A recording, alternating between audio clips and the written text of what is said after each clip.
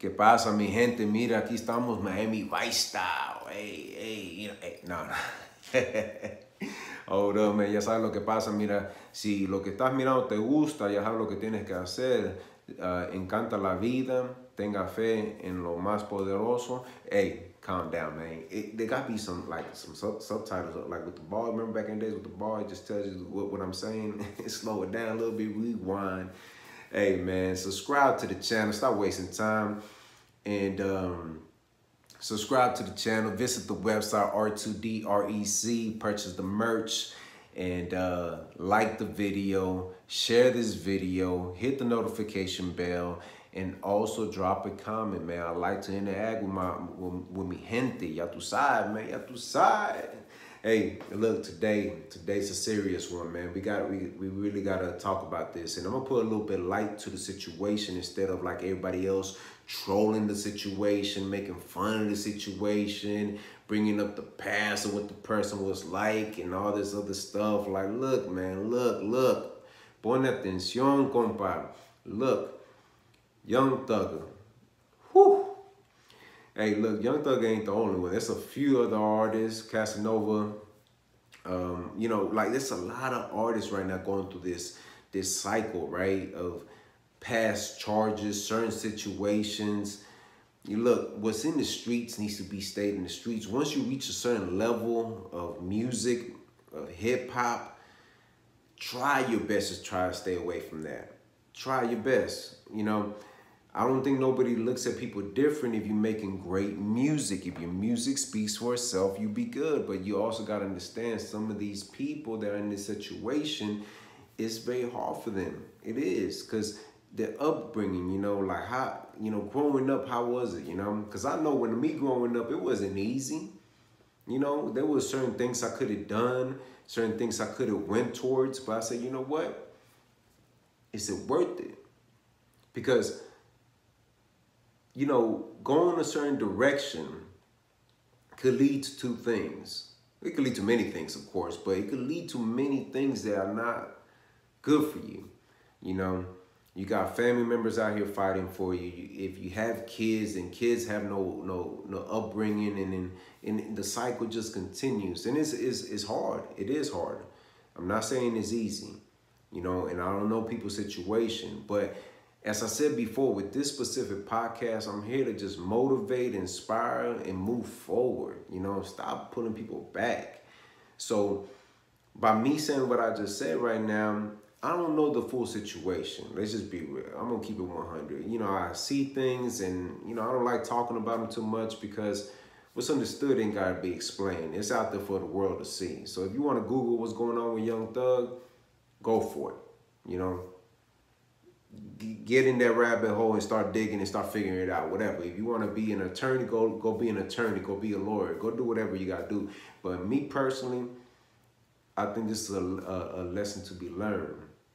What I mean by that is that for the youth, by seeing somebody that you know y'all probably admire or probably listen to, or you know some of these artists y'all you know y'all look up to, take it as a sign and saying, hey, you know what? This ain't the direction I want to go. Maybe I need to go this direction. Because these are prime examples of things that happen, right? It's almost like when Pablo Escobar was out there doing his thing and then you want to be Pablo Escobar, what you think is going to happen? It's, it's already laid out for you. Things happen for a reason. Everything already is there for you to say, hey, if you go this direction, this would, this would, what could, what could happen? You know? And when I think about Young Thug's situation, Gunna and all them, you know, I'm like, it's unfortunate. It's just an unfortunate situation because what was it like? His baby mama got one of his baby mamas got killed recently. It's crazy. Now he's going through something. It's just for me as an artist. I try to stay away from stuff like that. I've been in certain situations where I'm like, man, if I go that direction, but then I'm like, at this moment in my life, I have kids, so I got to really think about the um, the longevity. Yeah, it might sound good. It might sound like, okay, yeah, that's good for the moment, but is it to be good within two, three years or is it to come back and haunt me? And me, my message to the youth is take this as a sign. look at it, just envision it.